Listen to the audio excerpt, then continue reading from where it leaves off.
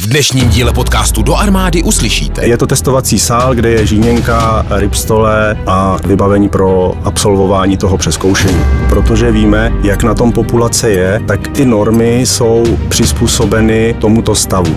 Ten voják, pokud se dostane do základní přípravy, je trénován tak, aby se mu fyzická zdatnost zvyšovala. Náborový podcast armády České republiky Do armády. Dobrý den, vážení posluchači, vítám vás u druhého dílu našeho podcastu. Mým hostem ve studiu je podplukovník Radek Veselý, zástupce oddělení tělesné přípravy generálního štábu armády České republiky. Dobrý den. Dobrý den. Pane podplukovníku, budeme se bavit o fyzické zdatnosti vojáka. Jak byste začal? Tak já bych začal tak, že fyzická zdatnost byla vždycky spojená s vojenstvím a s přípravou vojáka, proto se prolíná celou službou a výkonem služby vojáka a také z toho důvodu je testování fyzické zdatnosti zařazeno do výběru uchazečů. Jaký počet eh, uchazečů se ročně zúčastní takového testování? Jak velký zájem je? Tak tady záleží především na takzvaném rekrutačním cíli, to znamená na počtu osob, které armáda nebo rezort obrany potřebuje přijmout eh, na doplnění svého personálu. Většinou se to pohybuje kolem 2000 osob ročně. Je to z toho důvodu, že určitá část eh, vojáků odchází? Ano, jednak je to z eh, důvodu obměny personálu, ale jednak je to i z důvodu vlastně navýšení kapacit, to znamená, my rozšiřujeme struktury, budujou se nové organizační celky, to znamená, navyšuje se celkový počet příslušníků rezortu. Jak a kde probíhá testování uchazečů? Je to někde na nějakém hřišti, třeba Dukly Praha, nebo je to na nějakém tankodromu? Jak si máme představit místo, kde probíhá test fyzické zdatnosti? Tak nejenom pro testování, ale celý proces toho výběru uchazečů máme zřízena dvě střediska nebo dvě oddělení pro výběr personálu, která jsou umístěná ve vojenských nemocnicích, Jedno středisko je v Praze, druhé v Olomouci, tak aby to bylo snadno dostupné pro Čechy a pro Moravu. Čechy i zájemce z Moravy. Takže v těchto střediscích probíhá celý výběr a součástí toho výběru, jak jste zmiňoval, je teda i testování fyzické zdatnosti. Toto testování trvá zhruba hodinu a půl, kdy uchazeč musí splnit nebo projít veškeré cviky, které jsou stanoveny pro výběr.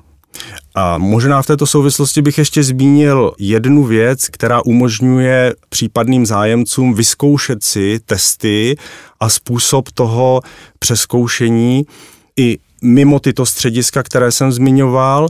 My se účastníme různých akcích na veřejnosti, kde právě umožňujeme vlastně vyzkoušet si celý obsah toho testování. Takže je to taková zkouška na nečisto, dá se říct. No, je to taková zkouška na nečisto, ale musím říct, že my i v případě, že ten potenciální uchazeč ty testy na místě splní, tak mu nabídneme možnost, že pokud si splní veškeré další zákonné náležitosti pro uchazeče, tak mu tyto testy nebo ten výsledek toho testování uznáváme po dobu jednoho roku a když přijde na výběr, už testování fyzické zdatnosti nemusí znova opakovat. Zmínil jste, že ta centra jsou v nemocnicích, takže můžeme si představit, že je to nějaká tělocvična, která je třeba v areálu nemocnice, nebo jak vypadá to testovací místo? Ano, tak není to úplně tělocvična v tom pravém slova smyslu, je to vlastně testovací sál, my vlastně máme ty disciplíny přizpůsobeny tak, aby byly možné provádět eh, jakoby prostorově na malém prostoru. Nicméně je to testovací sál, kde je žíněnka, rybstole, jsou tam testovací ergometry a vybavení prostě pro absolvování toho přeskoušení. Takže se dá říct, že je to nechci říct laboratorní, laboratorní přeskoušení, ale není to opičí dráha, která je někde v plenéru a kdy prostě musí frekventant eh, přešplhat, eh, nevím, rokly a, a přeběhnout, eh, přeskočit překážku a tak podobně. Ano, v této souvislosti bych možná zdůraznil to, že my vlastně tu testovou baterii jsme postavili tak, abychom eh, mohli vlastně to testování uchazečů provádět v průběhu celého roku nezávisle na klimatických podmínkách. Z našeho pohledu by samozřejmě bylo lepší a přirozenější, pokud bychom toho uchazeče mohli testovat přirozenýma nebo přirozenějšíma disciplínama, jako je třeba běh, který je základ eh, pro vojáky z povolání, je to vlastně povinný prvek testování. Nicméně my potřebujeme ten výběr vlastně provádět v průběhu celého roku. To znamená, z toho důvodu je to umístěno do testovací místnosti uvnitř. Jak vypadá ten fyzický test? Co musí uchazeč absolvovat? Takže ten obsah jsme se snažili právě přizpůsobit tomu způsobu, jak testujeme už potom vojáky.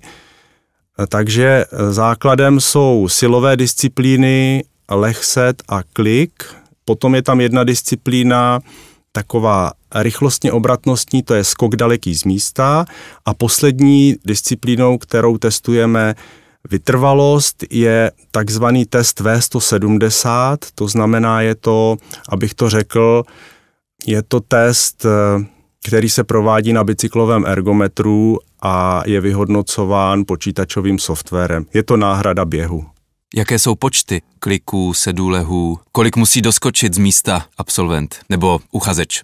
Takže pro uchazeče jsou stanoveny ty normy tak, aby jednak ty normy kopírují vlastně fyzický stav populace. To znamená, my bychom samozřejmě byli rádi, pokud by ten uchazeč byl fyzicky na tom co nejblíže fyzické kondici vojáka z povolání, ale protože víme, jak na tom populace je, tak i ty normy jsou přizpůsobeny tomuto stavu. To znamená například pro muže ve věku do 30 let požadujeme, aby za jednu minutu vykonal 33 opakování úlehu sedu, za půl minuty, aby udělal 19 kliků, skok daleký, aby doskočil alespoň 182 cm a aby našlapal výkon na bicyklovém ergometru 1,8 W na kilogram. Své vlastní váhy. Své vlastní váhy, ano. Teď si snažím představit, jak se to převede třeba do uběhnuté vzdálenosti za určitý čas? To je nějaká rovnice? Ano, existují na to určité algoritmy, kterými my můžeme trošku přiblížit ten požadovaný výkon. My vlastně veškeré ty informace ohledně jednak celého výběru, ale i testování uchazečů máme na webových stránkách a máme tam vlastně vedle těchto norem, které jsem zmínil, tak tam máme i způsob přípravy, který navrhujeme uchazečům, jak by se mohli připravit na testy tak, aby uspěli. A v rámci těchto informací je tam určitý převod mezi uběhnutou vzdáleností při 12-minutovém běhu, takzvaném kuprovým běhu, a právě výkonem na tom bicyklovém ergometru. Tak, aby si ten uchazeč nebo like dokázal vlastně představit, jakou zhruba fyzickou kondici by měl mít. A chápu správně, že to je takový počáteční bod, od kterého pak, pokud uchazeč projde dál do nějakého výběru a do nějakého výcviku, tak eh, dál je trénován ke zvýšení výkonnosti. Nezůstane na tomhle stavu, kdy ho přijímáte. Ano, právě tady k tomu eh, my vlastně jako celkově v rezortu Ministerstva obrany máme stanovený určitý systém přípravy. A to se týká i přípravy tělesné. To znamená, my začínáme, jak jste zmínil, s fyzickou úrovní takovou, která je adekvátní úrovni eh, běžné populace, to znamená, to jsou normy, které jsem před chvíli zmiňoval. A dále ten voják, pokud se dostane do základní přípravy, tak je trénován tak, aby se mu fyzická zdatnost postupně zvyšovala tak, aby se na konci základní přípravy přiblížila nejnižší úrovni požadované po vojácích z povolání. Hlásí se i ženy? Ano, hlásí se i ženy. Nemám úplně přesné informace, ale vím, že dlouhodobě ten zájem žen je zhruba na úrovni 12 až 13 To znamená, pro ženy samozřejmě ty normy jsou upraveny a to s ohledem na fyziologické odlišnosti organismu. Vlastně i pro vojáky a vojákyně máme odlišné základní normy. Jak moc se liší?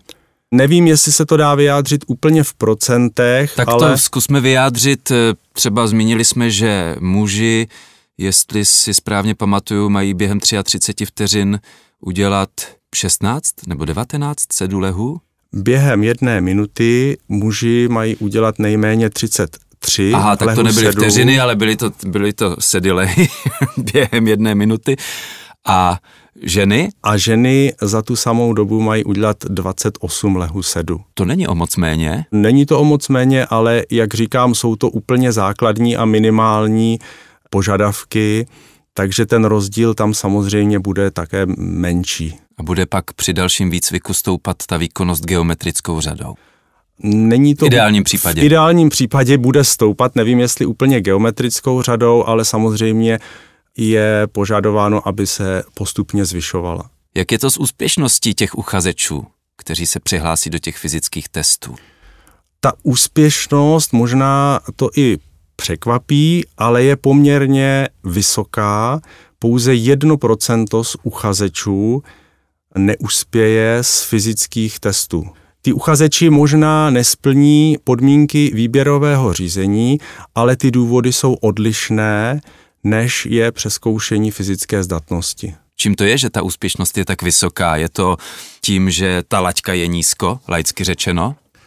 Ano, určitě. Určitě, jak jsem zmiňoval, my se musíme přizpůsobit tomu současnému stavu populace, to znamená, ty normy opravdu jsou nastaveny na tu nižší úroveň. Nicméně v této souvislosti bych zmínil, že vlastně o to větší potom práce je s tím eh, potom už vojákem v základní přípravě, tak, abychom vlastně z těch nižších norem ho potom na konci základní přípravy dostali na úroveň vojáka z povolání. Jste říkal, že ta úroveň je nejnižší, možná pro vojáka z povolání.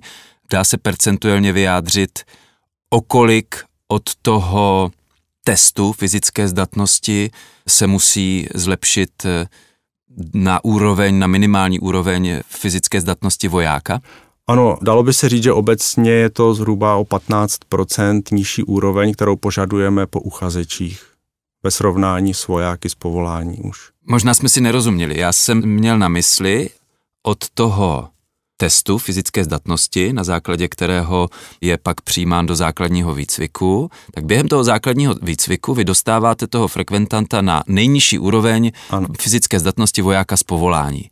To je rozdíl pouze 15%? Ano, ano, to je rozdíl pouze 15%, ale ono je možná důležité zmínit to, že to je opravdu ta bazální úroveň, kterou my po vojákovi požadujeme.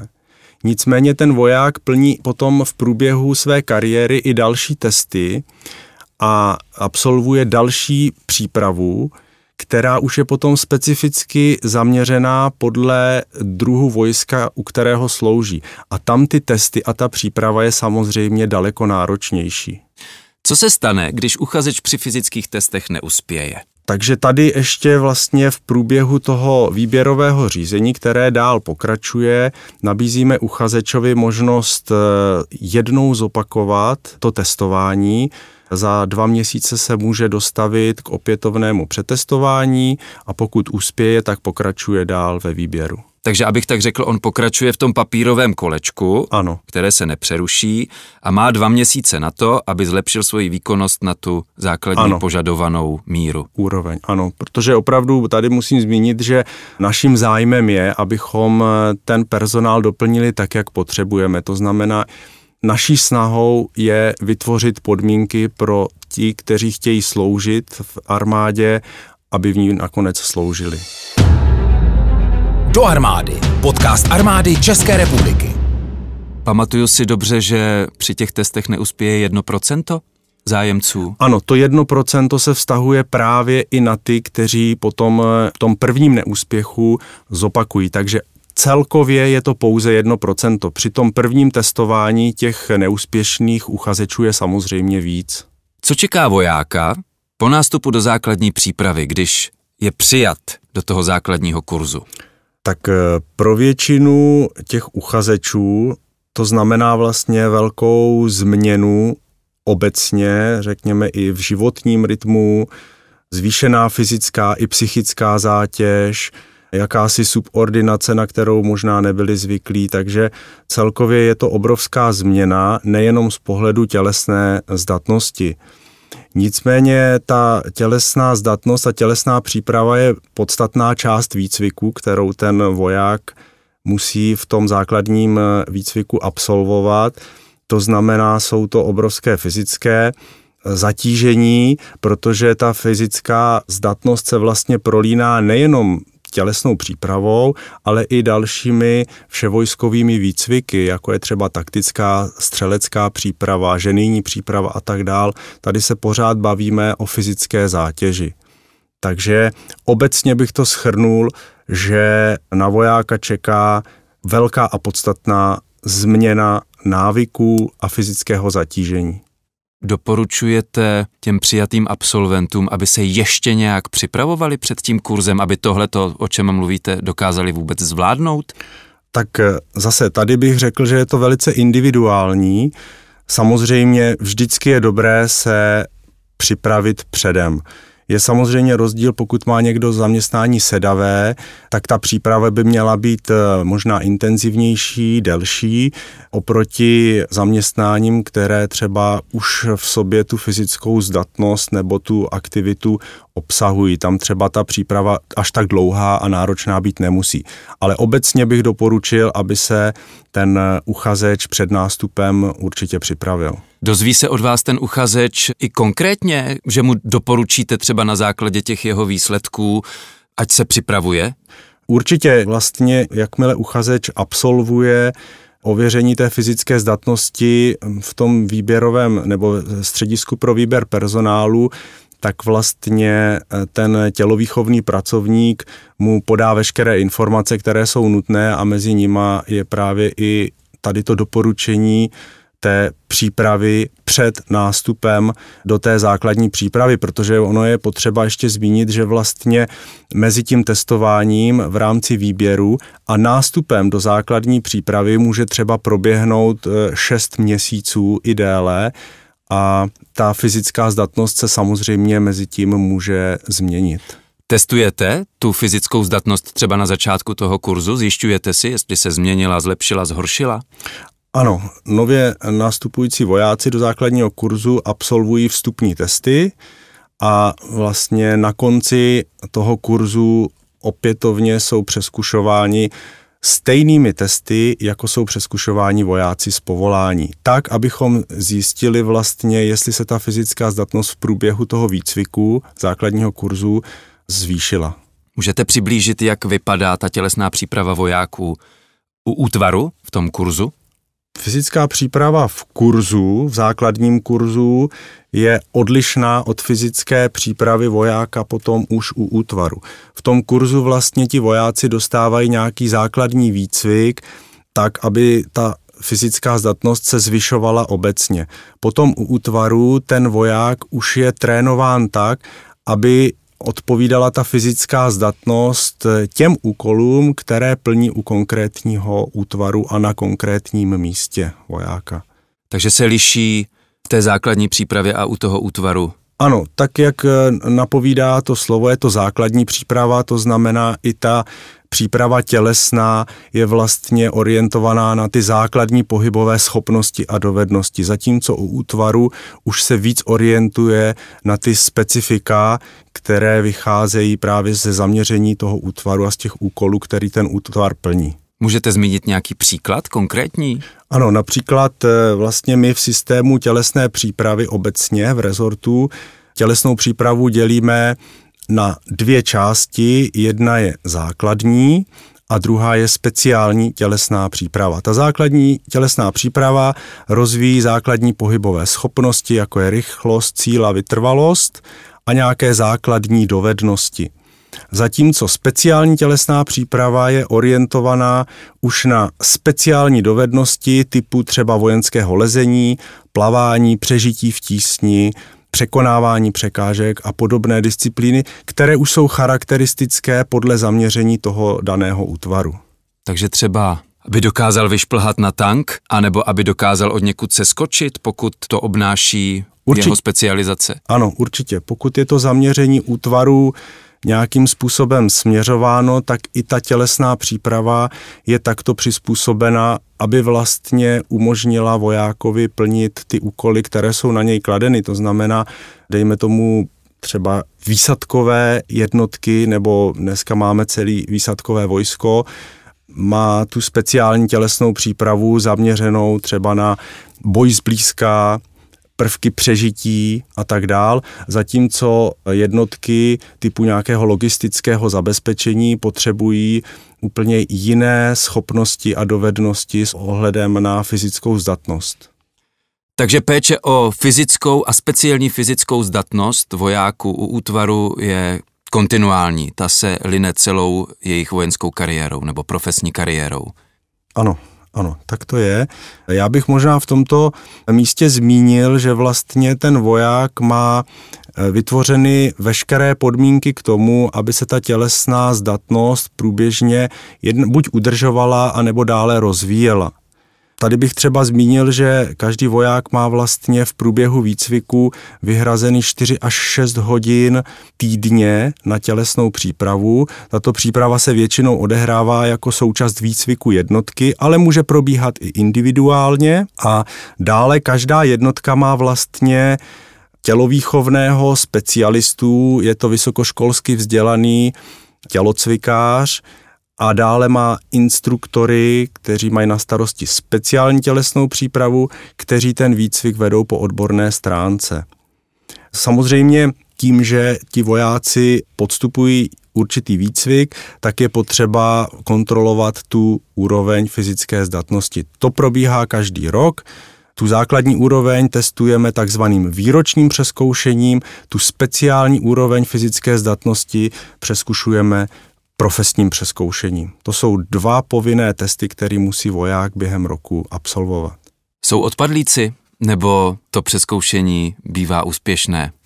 Dlouhodobě lze říct, že úspěšnost činí kolem 95-96%, to znamená, pokud voják ví, co se od něj očekává, je schopen se připravit. Co se stane s těmi 4-5% těch, co neprojdou tou kontrolou? Tak samozřejmě vždycky to záleží na veliteli, jaká opatření přijmou, ale vždycky se vytvoří podmínky tak, aby ten voják tu fyzickou zdatnost byl schopen zvýšit na tu požadovanou úroveň. Nicméně je potřeba říct, že vlastně hodnocení fyzické zdatnosti je součástí kariérového hodnocení vojáka. To znamená, že pokud je voják dlouhodobě eh, hodnocen špatně z tělesné přípravy, tak eh, může se stát, že mu třeba v následujícím období nebude prodloužen závazek.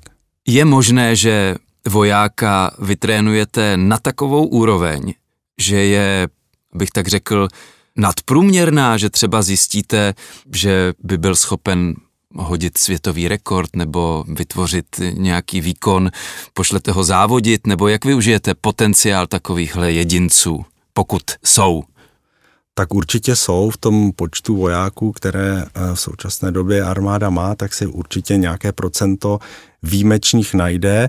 Samozřejmě ten potenciál se využívá jednak z hlediska toho vojenského zaměření, to znamená, takovýto vojáci můžou být zařazeny třeba ke speciálním jednotkám typu výsadkového pluku, speciálních sil nebo jednotek třeba vojenské policie, kde ta fyzická zdatnost je opravdu potřeba, aby byla nadprůměrná.